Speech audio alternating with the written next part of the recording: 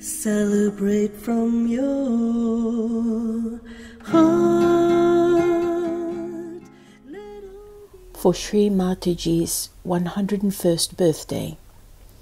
On this auspicious date, celebrating your birthday, we send lifetimes of love and give eternal thanks for you, for your divine hands, which raised our kundalinis, for your generous heart, whose beat sustains us all, for the one who is all knowing, for the one who is all, for the one who is, Deity, Mother, Guru, bestower of enlightenment, the source of vibrations, we, your blessed children, humbly offer our wishes for the happiest of birthdays.